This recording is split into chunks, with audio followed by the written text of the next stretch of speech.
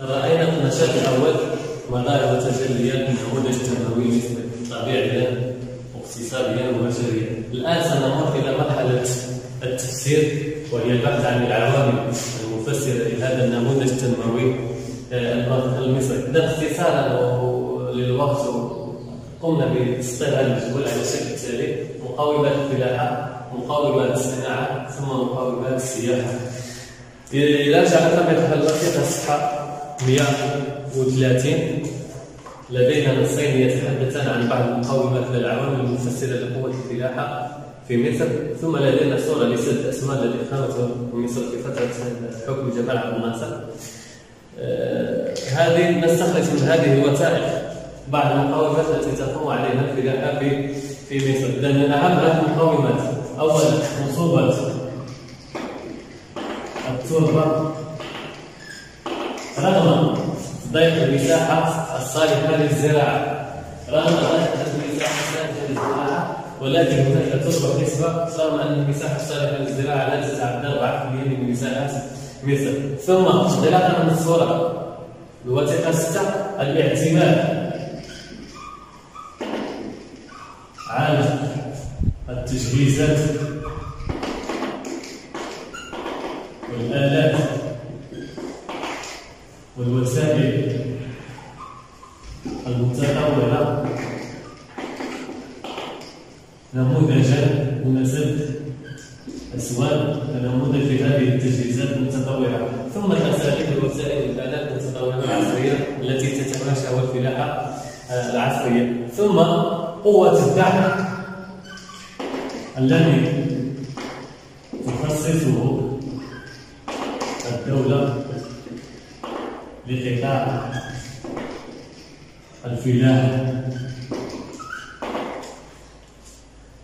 ثم الاعتماد. كنا على مجموعة من الإصلاحات التي حاولت الدولة إدخالها. القيام بإصلاحات لتطوير الفلاحة من الدولة. بالنسبة للصناعة لاحظوا انطلاقا من الخريطه والجدول الصفحه 130 يعني الوثيقة 8 والوثيقه 9 الصفحه 130 هذه بعض الأسس التي تقوم عليها الصناعة في مصر. اذا أهم هذه الأسس التي تقوم عليها الصناعة اولا تنوع ووفره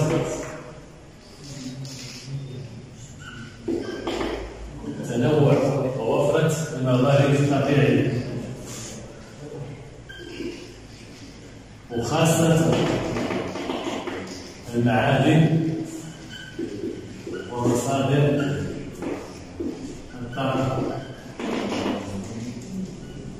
ثم أيضا انطلاقا من الخريطة والجدول وفرت اليد العاملة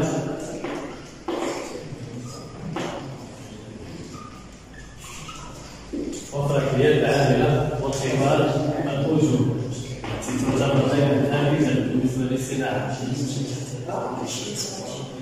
ثم أيضا تنوع شبكة النقل والمواصلات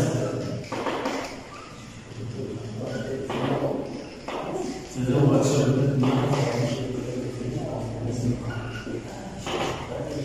تنوع شبكه النقل والمواصلات بالنسبة لمقومات السياحه في مصر حمية التي لاحظ نشاط هذه أهم المقومات التي تقوم عليها السياحة في هناك مقومات حضارية مقومات طبيعية ومقومات تجهيزية الحضارية هو الإرث الذي خلقته. الحضارات السابقة في مصر سواء الإسلامية أو الفرعونية على وجه على وجه أشكال أثارات ومواقع إسلامية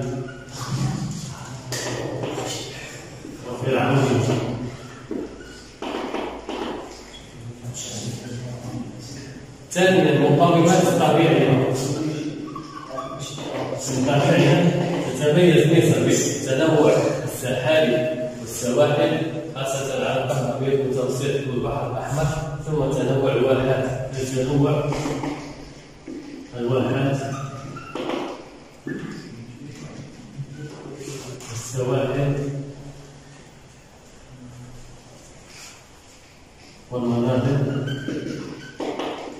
طبيعي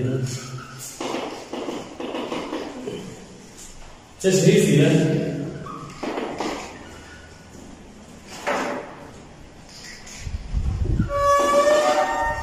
تستفيد سياحة مصر من تنوع الفنادق الضخمة والمصدقة ثم من شبكة الطرق والمواصلات والمطارات والممالك الضخمة والمتنوعة ثم تنوع المنتجعات السياحية تجهيزيا بنيات تحتية مهمة عطارات موانئ شبكة نقل ومواصلات ومواصلات متنوعة. ثم فنادق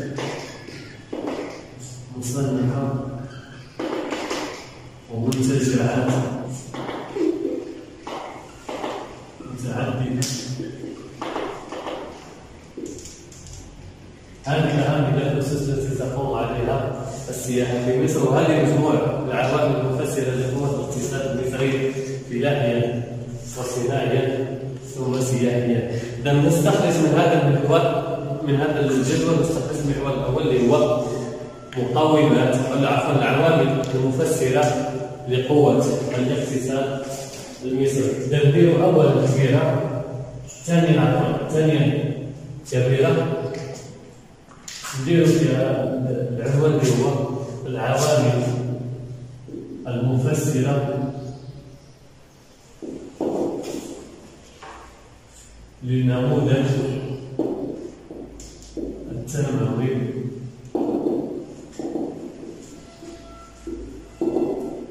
المصري وأخيرا سنتعرف على بعض المشاكل والإكراهات التي تواجهها مصر طبيعيا واقتصاديا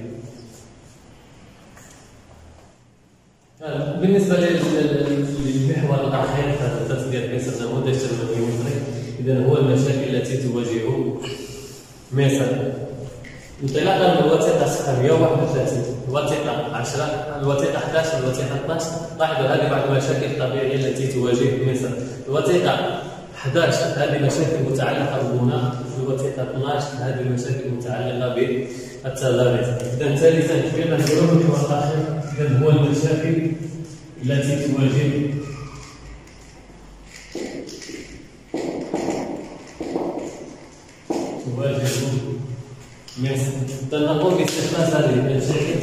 انطلاقا من هذا الوثائق انطلاقا الوثيقه 11 يظهر المشكل المناخ في مصر اذا هو سياده اولا سياده مناخ حار وجاف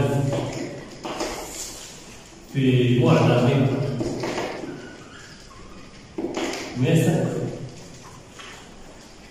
سيادة المناخ حار وجاف في معظم مصر باستثناء طبيعة الحال المنطقة الشمالية من حيث يسود المناخ المتوسطي. تلاقى الوثيقة الثانية سيادة الطابع الصحراوي على تضاريس مصر مما يجعل المساحة الصالحة في مصر لا تتعدى 4% من المساحة صالحة للزراعة. لا تتعدى أربعة في من مجموع مساحة البلاد. تناقل من الصحة.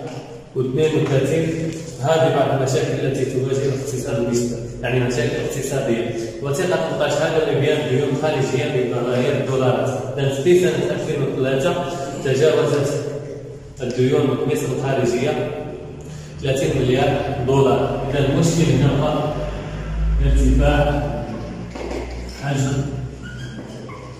الديون الخارجيه ثم المشكل الاخير الذي تواجهه مصر في الوثيقه 14 هو التباين الكبير بين حجم الصادرات وحجم الواردات. حجم الصادرات لاحظ الدول في سنة 2002 7 مليارات دولار ثم حجم الواردات 12 مليار دولار. فهناك تفاقم آه، تجاوز كبير بالنسبة لحجم الوالدات مقارنة مع حجم الصادرات؟ إذا المشكل هنا هو العجز عجز الميزان. التجاري عندما نقول العجز الميزان التجاري نقصد ان قيمة الصادرات تقل عن قيمة الواردات. إذا عجز الميزان التجاري هذه من أهم المشاكل الاقتصادية والطبيعية التي تواجه مصر إذا من هنا نقول أن السؤال الذي يمكن أن يطرح فعلا هل يمكن اعتبار مصر نموذج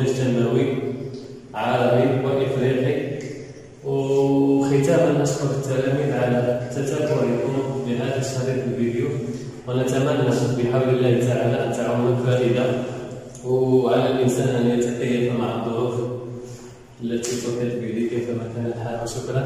وخاتمة كما عودتكم القيام بالخاتمة في المنازل.